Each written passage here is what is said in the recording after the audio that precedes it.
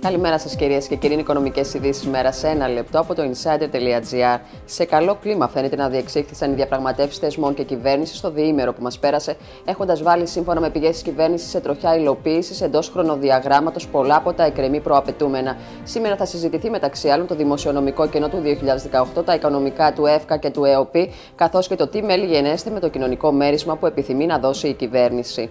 Η άρση του ορίσου μηνιαίε αναλήψη μετρητών το τελευταίο βήμα στην κατάργηση των capital controls, αναφέρουν τραπεζικοί κύκλοι στο insider.gr. Εφόσον η χώρα βγει από το πρόγραμμα προσαρμογής τον Αύγουστο του 2018, στο τέλος του έτους δεν θα υπάρχουν capital controls, επισημαίνουν. Η άρση των περιορισμών θα είναι αργή και σταθερή, θα ξεκινήσει από τους περιορισμούς στο άνοιγμα λογαριασμών από φυσικά πρόσωπα, τονίζουν. Το επόμενο βήμα στη χαλάρωση θα αφορά στους επιχειρηματίες και ιδίως στους εισαγωγείς που πρέπει να κάνουν πληρωμές στο εξωτερικό και τέλος στην επαναφορά των απεριόριστων συναλλαγών των φυσικών προσώπων στην ελεύθερη διακίνηση κεφαλαίων.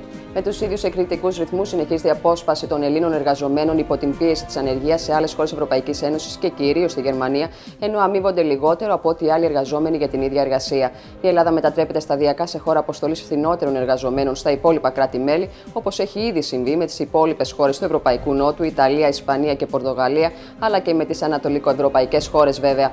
Μαραθώνια ήταν λοιπόν η συνεδρία των Ευρωπαίων Υπουργών Απασχόλησης πριν από λίγες μέρες με στόχο την αυστηροποίηση των κανόνων που προάγουν τον αθέμητο ανταγωνισμό και προδίδουν τις θεμελιώδεις ευρωπαϊκές αρχές, όπως πολλοί από αυτούς υποστηρίζουν. Ανωδικά κινείται η χρηματιστηριακή αγορά στο σημερινό άνοιγμα της συνεδρίας με τον γενικό δείκτη μόνα και με 739,95 μονάδες, καταγράφοντας κέρδη 0,37%. Σε άνοδο και τα ευρωπαϊκά χρηματιστήρια. Για περισσότερες ειδήσεις στο insider.gr.